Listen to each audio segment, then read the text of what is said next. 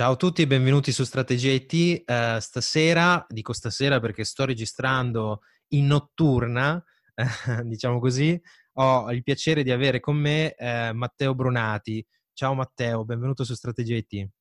Ciao a tutti. Ecco, dici subito, di rito, io chiedo a tutti chi sei e cosa fai nella vita. Allora, nella vita faccio il community manager per una fu startup italiana con sede a Trento, infatti sono, visto, mi sono connesso da Trento stasera e dove vivo da cinque anni, ma forse la parlata si sente che sono veneto, quindi diciamo così, sono un veneto immigrato in Trentino. E mh, faccio il community manager in questa azienda che si chiama Spazio Dati dal 2000, fine 2013, quindi un po' di anni e come seconda vita faccio un po' l'attivista sui temi di quello che magari di cui parleremo anche stasera, del civic hacking e di tutto il mondo di riutilizzo delle tecnologie e di modo diverso di pensare alla tecnologia per risolvere anche problemi civici. Bravo che hai introdotto questo tema perché sono tutti temi interessanti. Iniziamo con quello che, per cui ti ho chiamato, che è il progetto che mi piacerebbe dargli anche un po' una voce, un po' più ampliarla, è che è Civic Hacking, il sito civichacking.it, poi metteremo tutto nelle note dell'episodio. Quello che mi interessa è che, eh, e che mi ha sempre colpito, che seguo da un po' di tempo la vostra newsletter, ma eh, probabilmente era nato come la necessità di pubblicare un libro per così eh, trattare dei temi, e poi diremo quali, che sono un po' difficili da masticare, no? sono un po' complessi perché intervengono tanti fattori eh, se ci puoi dire questa newsletter quali argomenti tratta. Allora, hai fatto bene a... effettivamente questa cosa nasce, il progetto Civic Hacking It nasce da un'idea mista mia e di mia moglie, Erika Marconato. Io un, ho un background da informatico, ho fatto delle tesi su semantic web, tecnologie web, quindi mi interessa, sono un tecnico di base, di formazione. Lei invece è un umanista, filosofia, quindi un ambito completamente diverso, ma che è molto vicino all'informatica molto più di quello che si pensa. Questa cosa nasce a, al giugno 2017 perché ci siamo chiesti due, due cose, ci siamo posti due domande. E il primo motivo era che era un po' di anni che ci interessava tutto il mondo open data, aspetti civici di riutilizzo delle informazioni pubbliche ma non si riusciva a uscire, a essere, non, non veniva conosciuto fuori da, da, quelle piccole cerchie in cui eravamo. E dall'altra la consapevolezza che forse anche sembrava una roba da, come dire, da, come il calcio da un certo punto di vista, cioè una cosa che interessava pochi ma che non aveva nessun peso davvero forte. Per cui ci siamo resi conto che effettivamente poteva essere utile un libro inizialmente per mettere a, a terra tutta una serie di cose, un vissuto di, diciamo così, una, quasi una decina d'anni che aveva bisogno di anche sedimentare, di essere trasmesso agli altri. Una complessità, se vogliamo, ma anche un'esperienza che attraverso la velocità dei social media, piuttosto che link di blog ormai un po' vecchi, che quindi venivano anche visti poco, tra virgolette, non veniva più appre- si, si sarebbe persa come esperienza.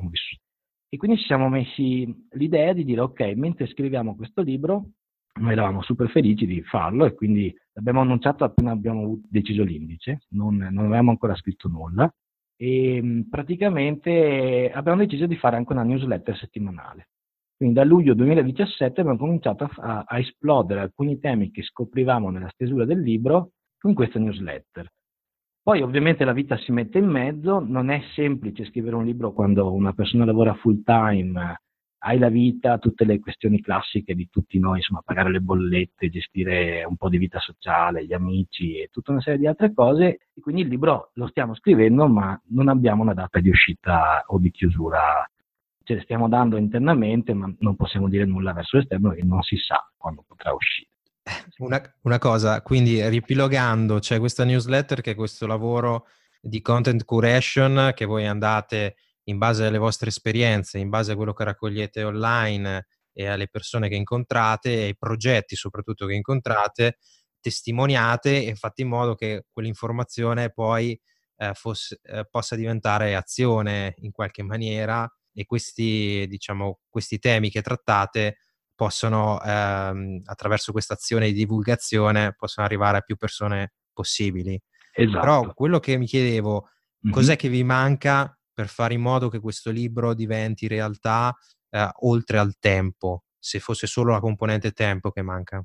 Se vi siete mai posti questa domanda.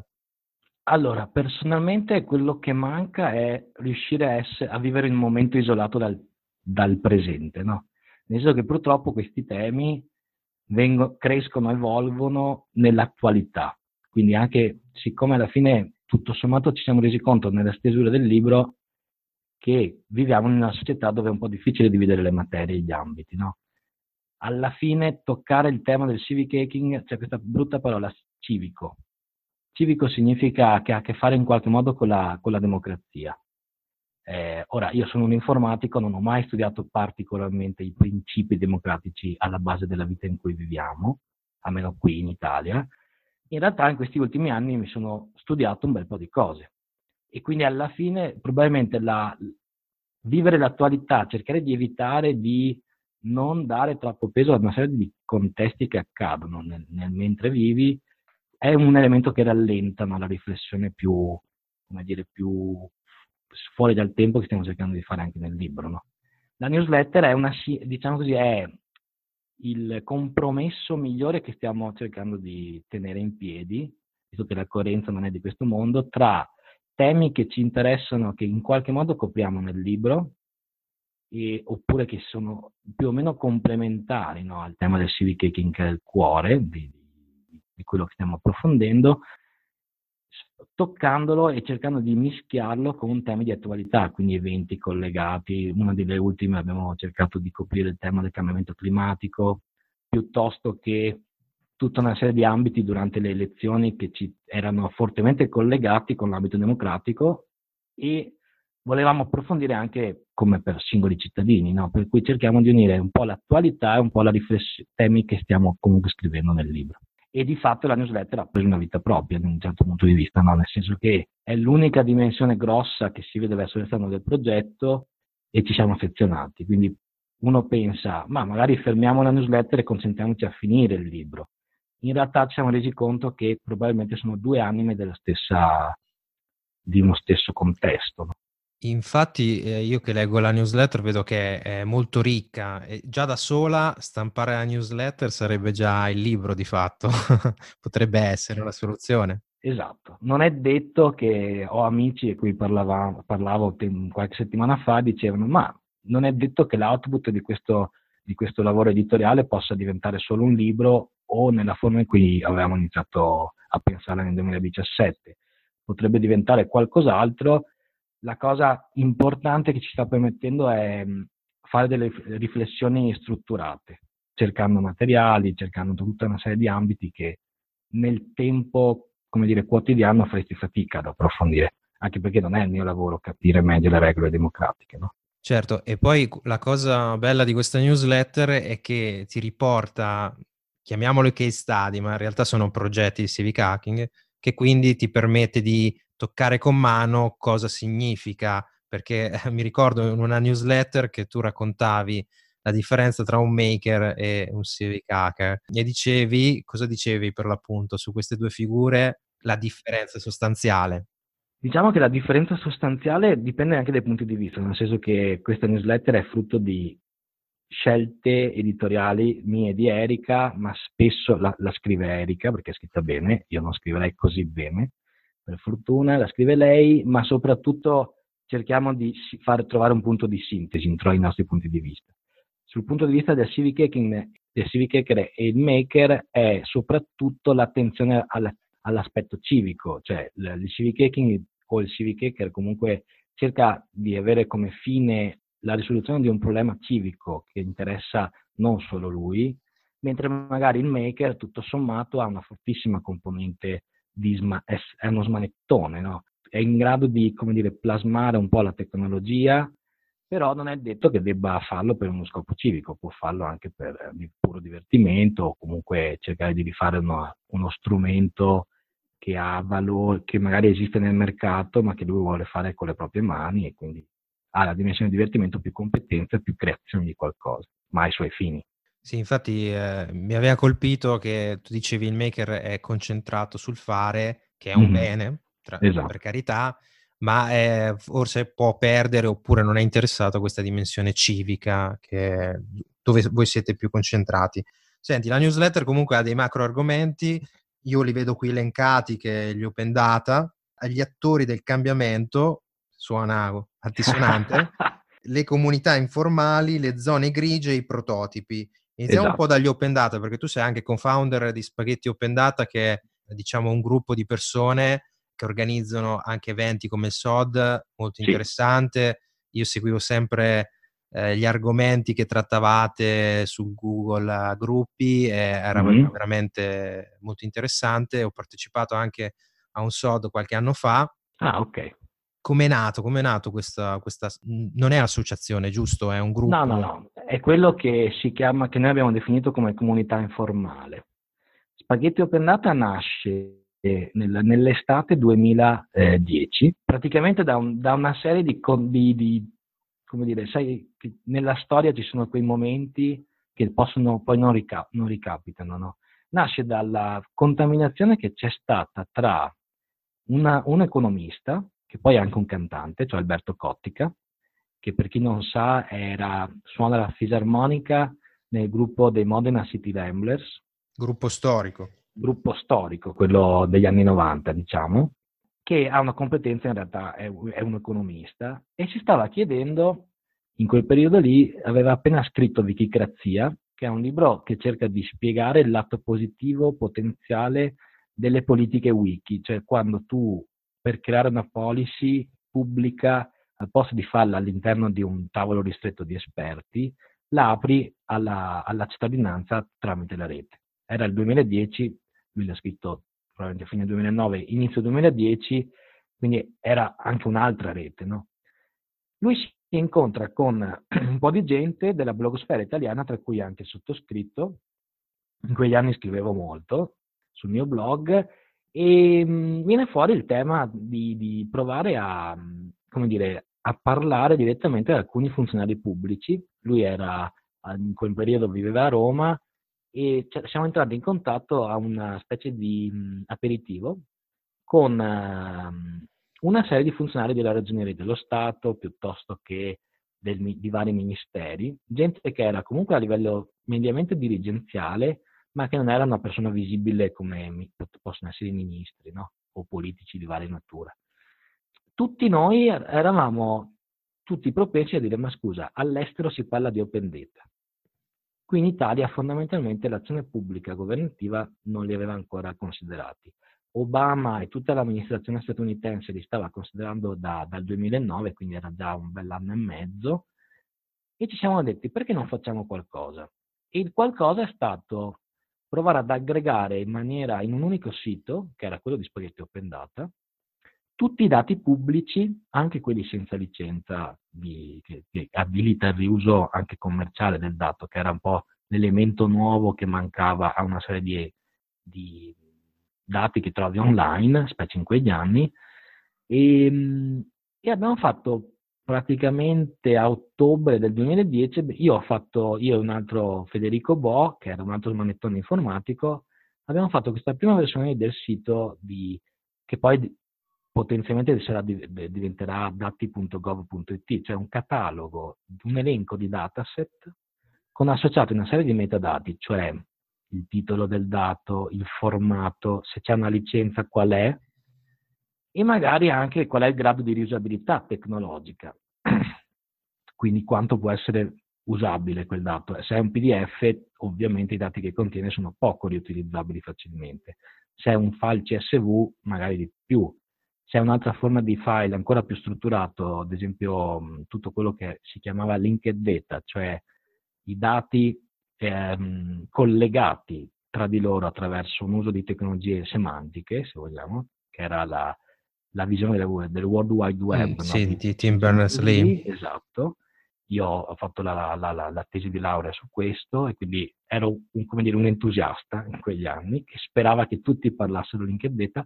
Quindi comunque a ottobre del 2010 nasce eh, questo sito che cerca di dare evidenza di tutta una serie di dati che erano sparsi all'interno in luoghi oscuri dentro n mila siti governativi e cerchiamo di dargli visibilità. La lista nasce a fine settembre del 2010 proprio per cominciare a coordinarci tutti quei pazzi che si erano messi in testa di fare questa cosa. E la cosa interessante è che in quei giorni, diciamo, la prima cinquantina di persone che si è iscritta alla lista era di natura del tutto disomogenea, cioè c'erano gente che lavorava nella pubblica amministrazione, nei ministeri, competenze completamente diverse, un po' di informatici, non tanti, economisti, architetti appassionati di tutto il mondo open che lavoravano all'estero, che magari, ah, cacchio, anche in Italia sta nascendo un movimento su questa cosa. E diciamo così, il traino era stato anche in quei mesi, in tutto il 2010, la blogosfera, parte della blogosfera italiana, aveva cominciato a discutere di queste cose, però in maniera sparsa. Il vantaggio di avere una lista era cominciare ad aggregare in maniera pubblica una discussione che altrimenti si sarebbe persa. E, e quindi un po' nasce così Spaghetti Open Data. Interessante, quindi abbiamo parlato uh, di Open Data, che è il focus uh, del SOD dei, dei, spaghetti Open Data, e eh, di queste comunità, come l'avete chiamato voi, informali, che immagino che eh, non solo loro, ma anche quelli che si possono aggregare, cittadini indipendenti o quant'altro. Ma eh, la cosa che infatti in Italia vedo sempre un po' di confusione perché quando vai a fare qualcosa, soprattutto in questo ambito che va a toccare molti interessi, da una parte ci può essere un osservatorio, da una parte una fondazione, eh, da un'altra un'associazione, da un'altra ancora degli operatori, eh, lo Stato, le istituzioni, insomma c'è veramente molti stakeholder, no? direbbero mm. quelli bravi. Esatto. Tanto, e quindi tutti creano eh, possono essere pori di interesse, ma possono creare anche un po' di confusione. E questo un po' fa chiarezza il, proprio la vostra newsletter. Quelle, le altre cose, cioè le zone grigie che voi chiamate molto, perché ogni tanto la newsletter sì. ha quel tono un po' eh, non tanto polemico, ma quando fa, dare uno stato dell'arte, della situazione, e ci sono alcuni mm-hmm. progetti eh, che, di cui parlate voi eh, che ehm, io sono un, un, po' perplesso negli anni, sono interessanti come, non so, potrei citare OpenStreetMap. Eh, sì. eh, voi questi, questi, tipi di progetti qui eh, vedo sempre che in qualche maniera eh, rischiano eh, l'obsolescenza oppure non vengono aggiornati, non c'è dietro un'azienda come, non so, avete, avete partecipato anche all'evento del WordCamp, alla fine sì, fortissima la community, ma quando c'è dietro un'azienda che spinge qualcosa si va avanti. Esatto. Quando non c'è, eh, c'è un problema eh, che questi progetti tendono a essere abbandonati nel tempo. Mm. Allora, in generale questo funziona per tutti i progetti di comunità, no? Nel senso, il legame tra comunità e progetti che hanno una loro sostenibilità è proprio è un legame può, è difficile che un progetto di comunità o un'iniziativa di comunità riesca a stare in piedi da sola dopo un primo lancio iniziale, no? E, ehm, anche perché noi, cioè, magari le persone che l'hanno iniziata si stancano, cambiano vita, hanno tutta una serie di scelte ovviamente doverose. Dall'altra, l'azienda o comunque un'entità che crea profitto può prendere in mano o la, prendere la guida di un progetto di comunità ma deve stare attenta all'equilibrio che dà, perché se la comunità è ancora attiva, deve trovare una, qualcosa che in realtà è nuovo, perché prima della rete non c'era, cioè deve trovare un equilibrio tra anche la governance del progetto, in modo tale da non, dire, non far perdere ruolo alla comunità stessa. No? Cioè deve scegliere una serie di cose che non sono assolutamente banali e che non hanno praticamente mai a che fare con la tecnologia. Alcuni progetti, allora, la, il tema della progettualità, della sostenibilità del civic hacking in realtà a me ad Erika è fondamentale, è, è anche fonte di confronto continuo. Potrei dividere la, la discussione in due, in due macromondi. Il civic hacking di suo è, qual, è un atto che ha una sua durata nel tempo breve tendenzialmente, che crea, come dire, è una spinta creativa che crea, che crea proprio prototipi. Il prototipo di per sé è di natura instabile, incompleta, cerca di risolvere un problema nel, dire, nella maniera più veloce possibile, ma assolutamente non in maniera sostenibile, no. quello che poi all'estero è tutto il mondo che nasce dai prototipi del civic hacking, ehm, all'estero viene definito civic tech, cioè aziende o comunque progetti che trovano una loro via, non c'è un modello, scelgono un, modello di business, alcuni anche misti tra crowdfunding piuttosto che finanziamento tramite progetti finanziati pubblici, perché copri effettivamente i temi di, come dire, che dovrebbe gestire un ente pubblico generalmente, e, e, magari viene scelto un privato per poterlo fare e, ehm, e, tutto questo mondo all'estero viene definito, il passaggio è tra civic hacking e civic tech. Il civic tech è il mondo corporate che ha modelli di business che adotta sostenibilità economica ai progetti civici e che nel mondo ha tutta una serie di, anche di studi. Mi vengono in mente studi di settore veri e propri, cioè fondazioni, mi viene in mente la Knight Foundation US, che cerca anche di definire e perimetrare il mondo di tutto quello che viene definito civic tech. In Italia purtroppo eh, la, ovviamente la dimensione del, del, dell'ecosistema no, è molto più piccola, la consapevolezza anche, e quindi è molto difficile riuscire a identificare anche aziende che hanno creato modelli sostenibili sulla, sul civic hacking. Ce ne sono, una che conosco molto bene è Open Police, la fondazione che ora da un paio d'anni è diventata da associazione a fondazione, quindi sono cresciuti anche nel modello di business. In, in generale è, il civic hacking non, non, concent- non dovrebbe concentrarsi sulla sostenibilità, ma come dici deve essere un tema, cioè chiedersi sempre perché una cosa, cioè eh, chiedersi sempre se una cosa è lavoro, se una cosa è, tra virgolette, quello che rientra nel volontariato o in uno stimolo creativo che tu hai scelto di, di su cui investire come comunità, come gruppo di persone, chiedersi sempre fino a dove puoi arrivare.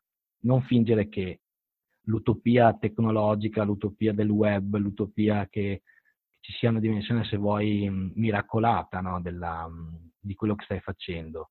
Devi, dobbiamo sempre chiederci perché fai qualcosa e quanto può durare anche uno stimolo creativo che fai nel tempo libero. È giusto, anzi è doveroso.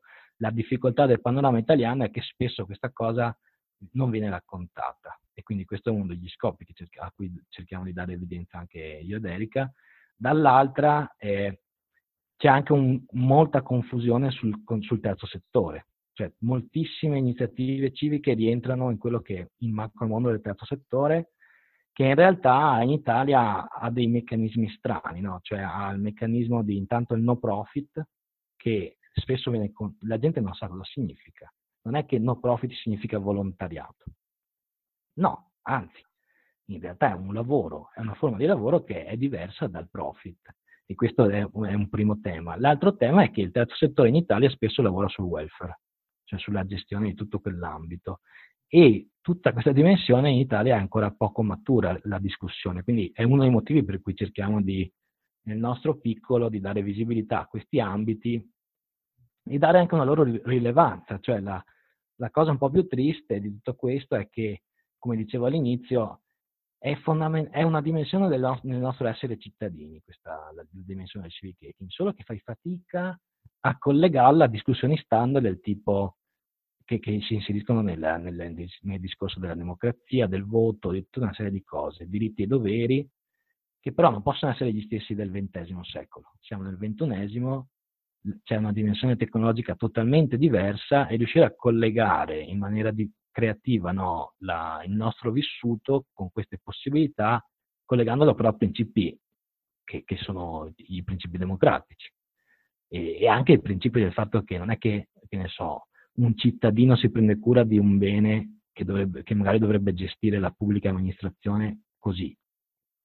Allora, Matteo, hai detto un sacco di cose, quindi eh, prima cosa ti interrompo per una cosa più mm, banale, ma forse importante lo stesso, perché eh, io sono nel gruppo Patreon di Star Me Up di Fabio Bruno, che saluto, e Andrea Borruso che all'interno mi ha detto salutami Matteo, è stata una scelta a intervistarlo, che lui ha quell'associazione ondata.it, esatto. eh, è un'associazione per la trasparenza, per la cultura dei dati e lì ho scoperto anche che puoi ehm, devolvere il 5 per 1000 eh, esatto. alla sua associazione, quindi ci tenevo a fartelo salutare. Un'altra cosa è che il lavoro che state facendo voi eh, non mette un po', ehm, voglio dire, eh, sembra che il data journalism da questo punto di vista abbia fallito? Allora, dal punto di vista della, eh, cioè data journalism è effettivamente una è molto ampio come argomento, però. È molto ampio, Ho, conosco moltissime persone che, che, hanno, che sono cresciute nelle prime fasi del data journalism italiano e io stesso ho fatto docente su alcune lezioni del 2010 a Roma sui pezzi di web semantico per, data, per, dire, per, all'interno di un percorso che formava giornalisti per essere un po' più vicini al mondo del data journalism. No? Ha fallito secondo me sì un po' perché non è riuscito a far capire il potere della contaminazione tra discipline. Cioè è passata un po' sottotono l'idea che fare la navigazione interattiva dei dati fosse quella cosa nuova che doveva fare il data journalism, cioè l'inchiesta o comunque l'approfondimento in cui a differenza di la, fo- foto, l'immagine del grafico, hai una di- navigazione interattiva più che poteva anche a livello di business far rimanere di più i visitatori di, che capitavano in quell'articolo e quindi aumentava la permanenza nel sito e quindi poi tutta una serie di indicatori no, di, sul ROI della, del lavoro fatto dalla testata, ma non, quindi sono concentrati molto sullo strumento, ma non sul cosa significa davvero fare il giornalista di dati, no? Cioè fare il giornalista prima di tutto, quindi la profondità dell'inchiesta, la necessaria, come dire, tutta la natura dietro il ruolo del giornalismo come come anche elemento di controbilan- che, che controbilancia il potere da un certo punto di vista, sia il potere costituito a livello di Stato barra governo, sia anche quello dell'impresa, cioè il giornalista dei dati dovrebbe avere ancora più incisività nel far capire un'inchiesta, una cosa che non era detta, era invisibile e renderla ancora più visibile, ancora più comprensibile, avvicinarla ai cittadini. Questa cosa in Italia non è passata, sta passando con una lentezza esasperante un po', perché molte testate hanno cominciato a fare un po' di inchieste da sole 24 ore, avere il blog dedicato che fa solo infografiche o comunque infografiche interattive.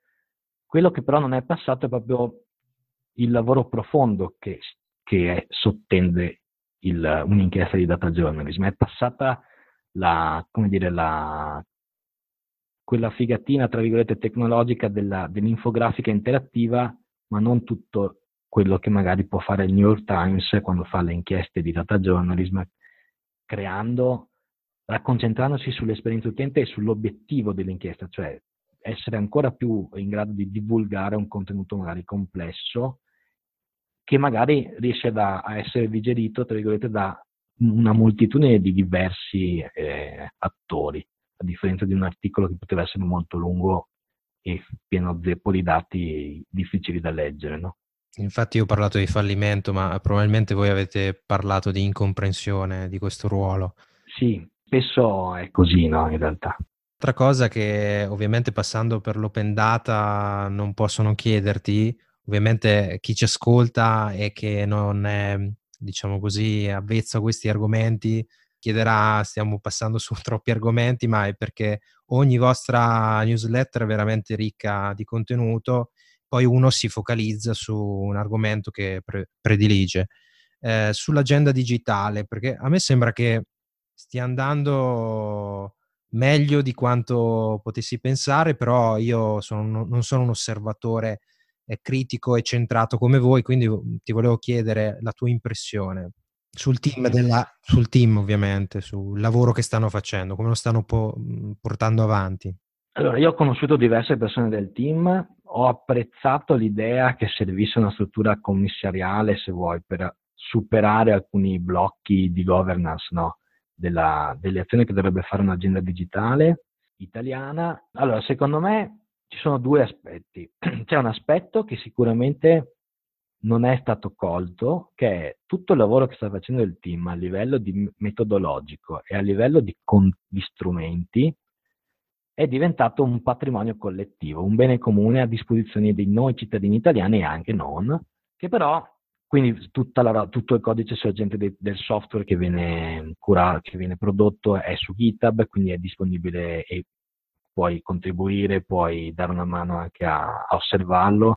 E visto che il ciclo dei soldi sono soldi pubblici, quindi nostri, il ritorno, no, come dire, il circolo virtuoso che hanno creato e hanno valorizzato è molto positivo, ma dal mio punto di vista non è stato raccontato, cioè non è comprensibile dall'esterno. Ed è un grande peccato in realtà, perché questa cosa prima del, del lavoro del team digitale non, non, emergeva.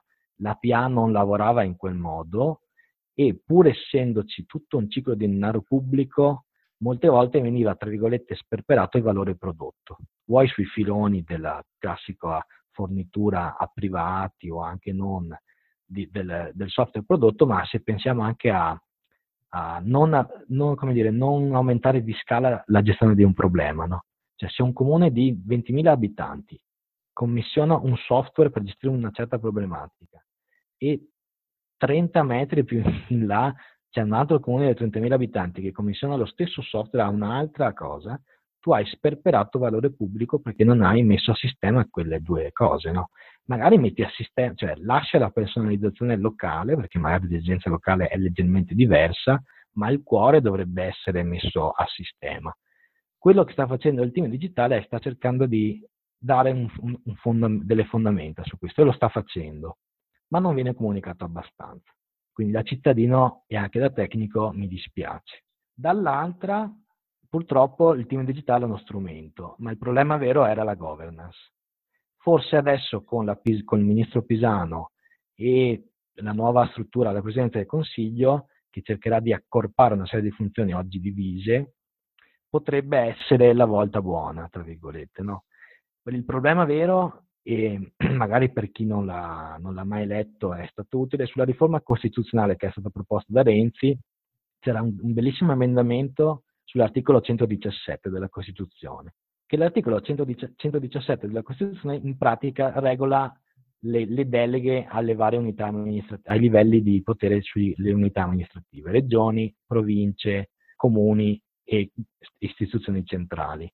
Il problema di quell'articolo è che non è pensato per gestire, come dire, a livello informatico gli standard, cioè non c'è un obbligo di governance, di un governo collettivo di pratiche che oggi sono delegate ai vari livelli amministrativi. Questa cosa, quando, eh, quando arriva la tecnologia, ha creato delle isole che non si parlano e che quindi fanno fatica, cioè funzionano molto bene magari a livello locale, ma quando devi tornare verso il centro e fare sistema a livello di paese, hai dei costi altissimi perché le cose non si parlano, i dati sono diversi, alcune, alcune regole di comunicazione per ehm, funzionare non, non ci sono, no? perché dall'alto non, è, non, c'era la consapevolezza di farlo. Ma Questo è uno dei ma... grandi problemi. Vai. Una cosa Matteo, eh, tu intendi che ci dovrebbe essere, secondo il tuo parere, o forse io ho interpretato male le tue parole, eh, un ente indipendente che curasse questi aspetti? Probabilmente, ma non è detto che sia indipendente, il problema è che dovrebbe avere due componenti. Accentrare, cioè dovrebbe riuscire a far capire che tutte queste entità, pur nella loro indipendenza, devono parlare dei linguaggi comuni, degli standard. Tecnologici prima di tutto, ma non solo, perché altrimenti il sistema paese ne soffre. Dall'altro sarebbe utile che ci fosse maggiore consapevolezza tecnologica, cioè come diceva anche Stefano Quintarelli, che ha fatto cinque anni in Parlamento ed è una delle persone più competenti nella storia e nell'evoluzione di Internet in Italia, era uno dei primi che ha portato eh, i provider a, a, fornire connettività Internet nei primi anni 90, per, giusto per capirci. Il problema vero è che chi de- definisce le regole e chi dà tutta una serie di contesti in cui muoversi a livello centrale, spesso è totalmente inconsapevole delle possibilità e delle, della tecnologia in senso lato. Non devi essere informatico, ma devi capire un po' le, cosa cambia rispetto al mondo che conoscevi prima, quello fisico e basta. No? E non avere questa consapevolezza crea dei disastri assurdi. Non ultimo, non capire che un cittadino oggi può dare una mano al bene comune del, del suo paese anche facendo civic hacking, perché non riesce a, neanche a, a concepire un aiuto di questo tipo. Ottimo.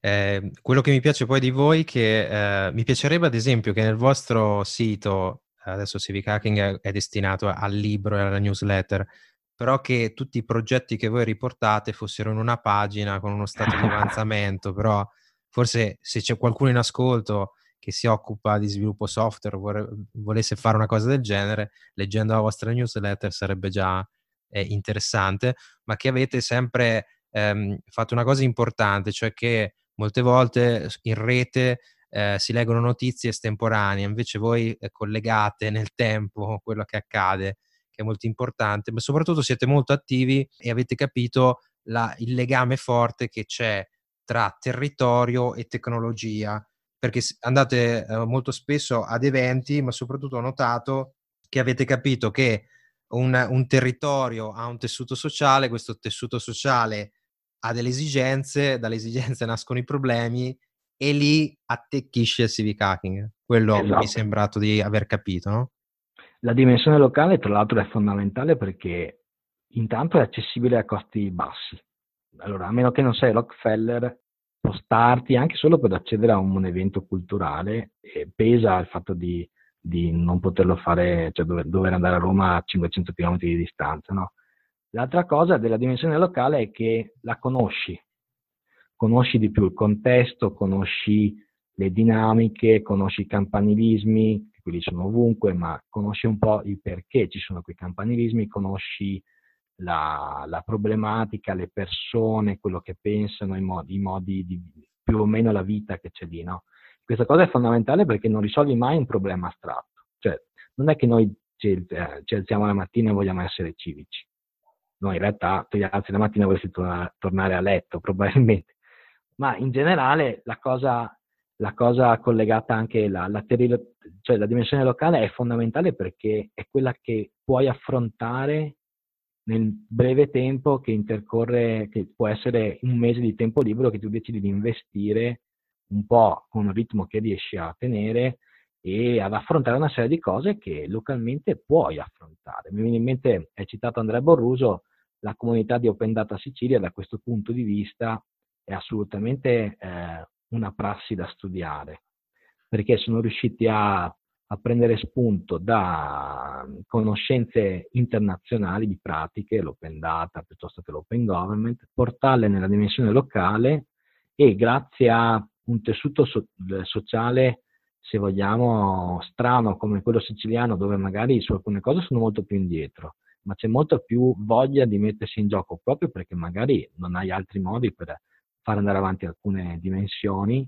hanno una resilienza eccezionale, anche lì hanno preso spunto involontariamente anche dalla nascita di Spaghetti Open Data, cioè da, dal aver messo insieme persone di estrazione diversa. Ci sono anche persone che fanno politica locale, che seguono la lista, che cercano di coinvolgere le persone più visibili come Andrea Borruso, ma che quindi eh, sfondano porte no? in senso positivo. L'altra cosa che spesso non viene raccontata è proprio questa dimensione della rete che ci permette di andare oltre i singoli contenitori in cui siamo cresciuti e in cui viviamo, cioè il singolo lavoro quotidiano piuttosto che la formazione che ci identifica tutta la vita. Che cosa sei in informatico? Ah, tu hai fatto filosofia. Eh, ho capito, ma non sei solo quello, no? e soprattutto ti permette di metterti in contatto anche, anche se eh, sei distante da molte persone con persone affini che invece magari abitano dall'altra parte dell'Italia o del mondo che però stanno facendo dei ragionamenti simili ai tuoi, no? Quindi non ti senti più solo. Questa cosa è bellissima anche a livello di esperienza umana, no? Sì, ehm, decisamente, decisamente. Ehm, senti una cosa, ehm, ritornando invece alla tua attività, ehm, quotidiana di spazio dati, era romantica l'idea di spazio dati, ehm, quando è partita come startup, che diceva che il valore dei dati sta nel contesto di creare e unire più fonti di dati, più sorgenti di dati, per fare in modo che ci sia sempre più valore, perché è proprio nella interrelazione tra i dati che eh, emerge di più il valore. E qua io ti volevo chiedere, eh, il, il, tuo lavoro, adesso la tua attività eh, all'interno eh, che vieni eh, ancora indicato come community manager, ma di cosa, cosa fai effettivamente durante la tua giornata e soprattutto eh, spazio dati cosa è diventato in questa data driven economy e, e che strumenti date, eh, perché così capiamo anche eh, a, um, le aziende cosa possono farsene di questi dati e di questi strumenti per effettivamente portare ancora più valore, esporre anche i propri dati aziendali. Esatto. Allora, Spazio Dati nasce a fine 2012 ufficialmente, nasce da, come una costola di FBK all'interno di una spin-off di, della Fondazione Bruno Kessler qui di Trento all'interno del gruppo Web of Data, che quindi è collegato a tutte quelle cose del semantic web, linked data, quindi una dimensione tecnologica che cercava di collegare in maniera più facile dati di provenienza totalmente diversa e usando le tecnologie alla base del web fondamentalmente. L'intuizione iniziale era quella di, siccome è costoso e serve competenza eh, unire dati di fonti diverse, perché non farlo una volta e offrire questa cosa come servizio, come software as a service, come dato as a service. E quindi l'idea iniziale era di fare un data market. In quegli anni, tra il 2010 e il 2012, nel mondo ne erano nati un po', che univano dati di miniatura diversa, alcuni magari open, altri no, altri potevano essere acquistati con licenze di rivendita, li normalizzavano, quindi nel gergo informatico significa dargli una struttura comune che poi è facile da e meno costoso da interrogare e da gestire per un attore terzo che ci deve creare del valore. No? Anche perché poi alla fine, se la maggior parte del tempo tu la sprechi gestione, nella pulizia dei dati, non la applichi a, a cosa te ne devi fare nel dato. No? Questa era l'idea iniziale. Io sono arrivato nella... Questa era l'idea iniziale del, del, quando dovevi, come dire, aggregare dati e esporli in maniera strutturata. L'altro pezzo di quella divisione iniziale era anche estrarre dati dal testo. L'altra fetta di, da cui nasce Spazio Dati è quello che si chiama oggi Dandelion API, che è una, un API, quindi una, una, un modo di interrogare un software da parte di un altro software. Bravissimo, io la spiego da una vita e tutti mi guardano perplessi. È un modo di un linguaggio machine to machine che tu ti permette di appoggiare il tuo software a un altro software in maniera veloce e semplice. Non, de- non deve essere un umano che deve interrogare un API, ovviamente tendenzialmente. Un API che è in grado di estrarre, eh, capire cosa, di cosa parla un testo, estrarre delle entità, che sono dei termini, chiave, una sorta di parole chiave, con una serie di caratteristiche di base con cui tu puoi farci qualcosa. Cosa? Puoi farci analisi aggregare, capire di che, categorizzare i termini chiave di cui parla un testo, non lo so, recensioni, capire quali sono gli ambiti e le parole chiave usate da, da, su 10.000 recensioni e via dicendo. Infatti se ne parla molto in ambito understanding language processing, nei esatto. chatbot, natural language chatbot, processing. Esatto, len, esatto. La differenza sostanziale è che Dandelion, forse non, a livello comunicativo non lo diciamo molto bene, però in generale nasce grazie a Wikipedia, cioè grazie agli Open Community Data di Wikipedia è stato sviluppato te- un algoritmo che è in grado di, di dare il, dire, il, grado di vicinanza e quindi il grado di confidenza di una parola rispetto a un argomento. Quindi ad esempio capire se la parola lira usata dentro un tweet, quindi pochissimo testo, fa riferimento alla moneta o allo strumento musicale. Questa cosa la tecnologia NLP di solito la fa con fatica perché usa la sintassi della frase, se tu usi la conoscenza raccolta in Wikipedia di quella lingua, invece riesce a funzionare bene. Queste due anime di spazio dati del 2012 poi cosa hanno fatto? Sono state viste, hanno capito alcuni, Cerved che è una delle più grandi aziende italiane che vende business information, quindi prende i dati anche da, dalle camere di commercio, fa score, di cre- score creditizio, tutta una serie di altri servizi, ha visto le potenzialità te- tecnologiche e di spazio dati e nel 2014 ha deciso di investire. Quindi ha, ha investito a livello di capitale, quindi ha, ha, è entrato in quota societaria, in minoranza, ma e ha fatto crescere l'azienda, ha creato grazie al fatto di, avere, di aprire de, delle porte che una piccola startup non poteva avvicinarsi, non poteva avvicinare clienti storici di Cerved, canali commerciali e via dicendo, anche la maturità del, del mercato stesso. E nel 2015 questa, fusio, questa, dire, questa fusione, se vogliamo, di, di, di, mondi ha creato Atoka, che è l'altro servizio oltre Dandelion API. Eh, Dandelion API, giusto per farvi capire, è un API che vendiamo in tutto il mondo in inglese i clienti vengono da, da, Amazon perché lo usa per fare una serie di cose con il Kindle, ha tutta una serie di testate editoriali che lo usano per motivi di, visib- di categorizzazione interna dei loro siti, di, dei loro network di siti interni per valorizzare magari. Scusa una cosa, ti chiedo per eh, il modello di business che c'è in questo tipo di API, il numero di richieste, una membership? È, è, è freemium, quindi ah. c'è un, un livello di base dove tu puoi fare chiamate API a costo zero senza nessuna... Quindi uno la può provare. Esatto, e anche per alcuni casi d'uso può bastare magari. E poi invece sopra una certa soglia si paga una quota mensile a seconda della necessità. E quindi... Ok, invece a Toca, eh, che io detto, mi sono chiesto subito appena l'ho sentito, ma perché questo business non l'ha fatto principalmente la Camera di Commercio? da subito? Eh, questa è una bella domanda. Allora, sicuramente c'è un tema di competenza tecnologica. Atoka nasce nel 2015 grazie ai dati che ci ha fornito Cerved e l'idea era dare una piattaforma veloce, dietro c'è tutto questo mondo che si chiama Big Data e quindi c'è questa piattaforma a uso pressoché istantaneo che aggrega i dati di, infoca- di infocamere, fondamentalmente tutte le camere di commercio, quindi dato quello che viene chiamato ufficiale, a tutto quel mondo strano che è il web.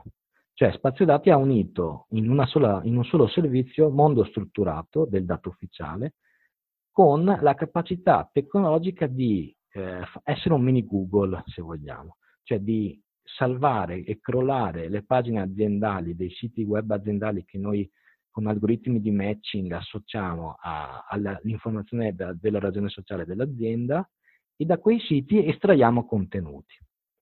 Estraiamo contenuti in forma pura per fare ricerche verticali all'interno di Atoka sul contenuto dei siti web di quelle aziende, delle aziende in generale, e facciamo poi rielaborazioni, quindi parole, estraiamo noi delle parole chiave che riteniamo pertinenti e rilevanti su quei contenuti, anche i social, ad esempio dell'azienda, e lo scopo è dare una, la possibilità di accedere e di fare analisi sul mondo aziendale italiano unendo informazioni ufficiali e, rumore, tra virgolette, che becchiamo online in un'unica interfaccia utente. Questa è un po' l'idea. Ci sono anche delle API, quindi il modello lì ovviamente è abbonamento, la versione base è ad abbonamento mensile o annuale, e poi eh, ci sono delle API, che quindi il sistema integrator, quello che nel gergo degli addetti ai lavori no, sono quelle aziende che integrano servizi CRM piuttosto che tutta una serie di sistemi gestionali, vi dicendo che hanno bisogno di aggregare dati uffi- come quelli che abbiamo in Atoka, quindi quello è un altro canale di, di, di vendita, se vogliamo. Quando hai parlato di crawling eh, ho pensato che avevo fatto tempo fa e, e, dopo ho fatto un episodio anche nel podcast dove raccontavo che ero andato a, a fare scrapping del, del, sito di Apple e poi c'era scritto la licenza che non potevo farlo, quindi avevo creato un sito dove volevo far vedere le categorie e trovare meglio i podcast e poi ho detto forse non lo posso fare. Quindi voi sì. dovrete, dovrete sicuramente leggervi anche molte cose legali per capire esatto. se potete farlo o meno. Sì, lì, lì, il tema è affascinante perché in realtà se tu il tuo obiettivo non è replicare il contenuto, ma essere come Google, essere un motore di ricerca che segue le regole di Robotics TXT, quindi eh, le regole di chi pubblica il, il, sito e decide cosa dovrebbe essere, mm, come dire, crollato o visto dai, dagli agenti automatici, cosa no, e se quello è il tuo scopo, allora in realtà non è, come dire, repli- fare siti fake piuttosto che azioni magari illegali, ma se il tuo scopo è facilitare la visibilità di quel contenuto, in realtà dovresti essere perfino ringraziato, no? In generale. Eh, però c'è scritto espressamente che non, non, ne puoi fare nessun tipo di utilizzo di solito. E Dipende, quindi... però sì, è, variegata la, la, cosa. Quindi il mio lavoro, eh, per tornare alla domanda, Spazio Dati oggi vive in questa, in questa dire, evoluzione in cui in realtà cerca di far, di, di, Are, Michele Barbera, che è il CEO, ha sempre usato questo termine, democratizzare l'accesso a una serie di informazioni che prima erano meno visibili o meno ricercabili. Adesso che dici questa cosa qua, ho scoperto grazie alla vostra newsletter anche che esiste il FOIA. Cos'è? Il FOIA, sai che abbiamo in Italia questa idea di prendere gli acronimi in inglese e tradurli per farli capire ancora meno a noi poveri italiani, magari in inglese lo mastichiamo male. Sì, sì, lo dico proprio così come è scritto, così non, esatto. lo possono cercare. Il FOIA, il FOIA sta per Freedom of Information Act e sarebbe il diritto di accesso alle informazioni pubbliche. E di fatto, per chi un po' non lo sa, l'idea di, acc- di poter accedere come singoli cittadini a informazioni detenute dalla pubblica amministrazione senza avere un motivo legittimo dichiarato, ad esempio essere coproprietario di un edificio e quindi accedere ai dati catastali, per dirne una, o essere un giornalista che magari quindi hai più, hai una serie di codici di condotta e di libertà aumentate rispetto al cittadino, quindi in generale questa cosa prima del foglio non era possibile effettivamente. Cioè tu come cittadino non potevi chiedere alla pubblica amministrazione un contenuto che non aveva pubblicato perché a meno che non avessi una serie di particolari evidenze. Il FOIA è quello che in italiano è stato tradotto accesso civico generalizzato, in un certo senso, e ti permette e, ti, e obbliga la pubblica amministrazione a rispondere a qualsiasi istanza che un cittadino può chiedere alla pubblica amministrazione motivando tutta una serie di richieste di accesso agli atti, accesso ai dati, accesso ai contenuti, per rendere la pubblica amministrazione più accountable, in un certo senso, usando un termine inglese, cioè più deve rendere conto dell'operato che fa. Quindi il cittadino oggi ha un potere immenso, perché può chiedere come vengono spesi alla fine i soldi pubblici, come, in, che, in che oggetti e tutti i dati e i contenuti che possono essere creati, nella, ovviamente con tutto il rispetto delle norme sulla privacy, piuttosto che la riservatezza di una serie di ambiti, sicurezza nazionale e via dicendo, però in generale può e deve avere accesso a quei contenuti. E fare accesso civico generalizzato, cioè ovvero fare richieste foglia verso la pubblica amministrazione, aiuta entrambi i lati, il cittadino che impara a usare un diritto impara qualcosa di più di quello che è l'apparato statale, quindi che è qualcosa che è anche suo, perché lo Stato siamo noi, non è solo un'entità terza che ti ruba le tasse, tra virgolette, cosa che abbiamo dimenticato, ma soprattutto educa la, la, la pubblica amministrazione ad, a ricordarsi perché esiste. Esiste per gestire una cosa che noi da soli non possiamo gestire, perché sennò sarebbe il nostro lavoro, ma che di fatto è anche nostra. Quindi è giusto che io ti chieda, che ti chieda di rendere conto di quello che fai, ma non nel senso perché vuoi accusare qualcuno o qualcosa, no? ma perché quella cosa è anche tua. Certo, è un discorso più ampio di trasparenza e di partecipazione che ha molto a che vedere con la democrazia. Um, non vorrei arrivare troppo in alto con, con, questa, con questo episodio, ma eh, ti vorrei, eh, prima di chiudere, eh, vorrei chiederti non solo dove possono trovarti in rete, eh, ma anche eh, sul tuo progetto come una pitch per startup. Vorrei sapere cosa vi serve per portare a un secondo livello il vostro progetto o per eh, mantenerlo in vita. Allora, beh, allora mi trovate online cercando Matteo Brunati, sono un po' su tutti i social tranne Instagram che non ho mai apprezzato particolarmente. Il mio sito personale è Dagonai, occhio di Dagon, quindi, .it sono un appassionato di Howard P. Lovecraft e quindi è una, una mia debolezza. Lo dico e... io per te, c'è anche per sostenere la newsletter mm-hmm. eh, civichacking.it, eh, esatto. c'è anche il paypal.me slash Dagonai. Esatto. Infatti lo, l'obiettivo è le, darci, so, dimostrarci che qualcuno legge la newsletter e quindi ci sostenete anche con un caffè, eh, e aiuta anche lo spirito, non solo il tempo che dedichiamo a scrivere la newsletter, quindi sicuramente farci qualche donazione è sicuramente fondamentale. L'altra cosa è, in questa fase forse la cosa migliore è interagire con l'hashtag, scrivendoci, chiedendo, chiedendo anche cose, eh, scrivendoci a, usando l'hashtag o usando i nostri canali personali, chiedendo perché anche, perché non scrivete qualcosa che potrebbe essere collegato a Civic Hacking, che magari non abbiamo ancora visto, far, farci capire qual è quello che noi non vediamo ancora cioè il feedback, diciamo. qual è la percezione anche di, di chi legge, di cosa manca, se, se, comincia a essere, tra virgolette, noioso il contenuto e via dicendo. E l'altra cosa forse sicuramente un pat-pat virtuale ogni tanto per dire il libro, cosa, cosa, ti aspetteresti anche da un, un libro che parla di civica? oggi che c'è un archivio di newsletter così ampio che potrebbe anche bastare di per sé, no? E quindi quello che probabilmente è più utile in questa fase è proprio farci capire se c'è attesa per un libro sul civic hacking oppure se forse è qualcosa che riteniamo utile solo noi, no? Guarda, a parer mio, la vostra newsletter è già ampissima per scrivere almeno cinque libri, quindi se fosse per me eh, collegherei solo temi principali e farei quasi una collana, cioè di ogni tema puoi realizzare già qualcosa. Eh, volevo solo chiedere una curiosità perché eh, non per aggiungere tecnologia su tecnologia, che no, ovviamente sappiamo benissimo che non è quello è la soluzione, ma eh, se avevate pensato a soluzioni come Patreon per il finanziamento. Stiamo valutando, è vero. L'idea inizialmente era anche fare a un certo punto una campagna di crowdfunding per sostenere una serie di costi vivi del, del libro. Una volta che trovi l'interesse, ad esempio, anche di un editore, questa è un'altra forma di aiuto. Se conoscete editori eh, che possono essere interessati no, a, ad avere una, all'interno di una loro collana un'opera di quest'ambito, scrivetegli scriveteci, diteci chi è e, e questo è un tema. L'altra cosa effettivamente è ci sono delle forme di crowdfunding che stiamo valutando più che altro per poi portare a compimento una bozza che può essere corretta quanto vuoi, ma poi ha bisogno di una serie di lavorazioni successive. No? Quindi anche quello è, sarà un potenziale canale di, di, dire, di sostenibilità del progetto. C'è qualche domanda ancora aperta, però avete fatto un, un grandissimo lavoro, quindi andrebbe premiato. Eh, una cosa che volevo aggiungere, comunque, se di crowdfunding ho intervistato in un episodio Laura Sgreccia, eh, che mm-hmm. eh, sono esperti di crowdfunding, ma probabilmente anche tu hai i tuoi contatti, però è bene saperlo.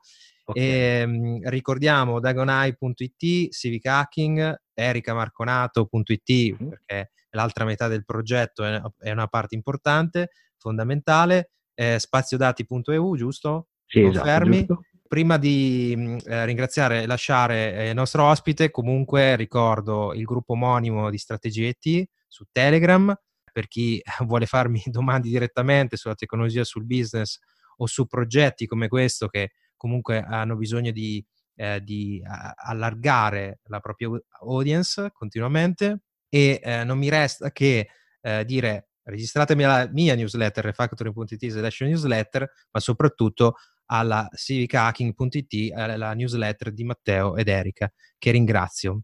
Grazie a te è stato un piacere. Ciao a tutti alla prossima